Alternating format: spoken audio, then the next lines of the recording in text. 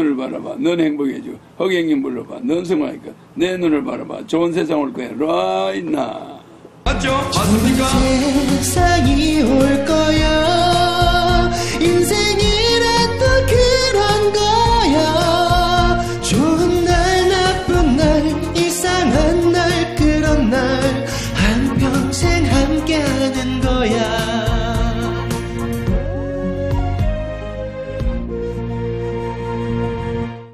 어떤 사람이 나한테 전화가 왔어. 자기 마누라하고 너무 다퉈가지고 이혼을 하려고 하는데 허총재님 이걸 어떻게 했으면 좋겠느냐. 나는 무슨 상담도 별의별 상담을 다 해요. 남북 전쟁 날 것 같아서 저 집 팔아가지고 미국으로 가려고 하는데 어떻게 하면 좋겠냐. 뭐 죽겠다는 사람부터 하루에 자살하려고 하는 사람이 200명 정도 돼.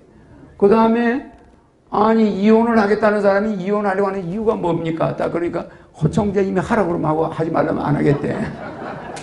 그러니까 내가 이제 그런 걸 잘 아니까. 그래서 왜 그런지 이야기해 보시오. 딱 그러니까 아, 내가 참 되게 전화 많이 받아요. 뭐라 하냐? 장인 장인은 돌아가셨는데 장모가 있대요. 그리고 자기 아버지와 어머니가 계시대. 그런데 이 집에 자기 아내가 장모를 모시고 살자고 하는 거죠. 장모. 그런데 아들은 또 아버지 어머니가 병원에 있다가 퇴원을 해가지고 집으로 왔어. 그러니까 이게 어떻게 되냐면 장모, 아버지, 어머니 세 명이 한 집에 있는 거예요. 한 집에. 그러니까 이 마누라하고 싸움이 붙은 거예요. 싸움이 붙었어. 이걸 이 아버지만 없어도 어머니하고 장모가 있으면 또 괜찮은데 이 세 사람을 데리고 살려니까 이 남편하고 아내가 맨날 부부싸움을 하는 모양이라. 그래서 총재님 이걸 어떻게 하면 좋습니까? 그래서 장모님이 지금 요양원에 있대요. 그저 요양병원.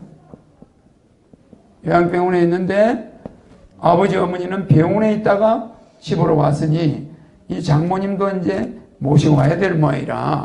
그러니까 이 집안에 막 싸움이 붙는데 이 돈이 장난이 아니래요. 돈이. 이 세 분을 두 자녀가 거기도 딸 하나뿐이고 여기도 아들 하나뿐이야. 그러니까 이걸 두 세 사람을 모시고 있는 거지.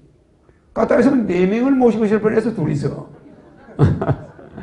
그러니까 이거는 국민 배당금 아니면 해답이 있어 없어요?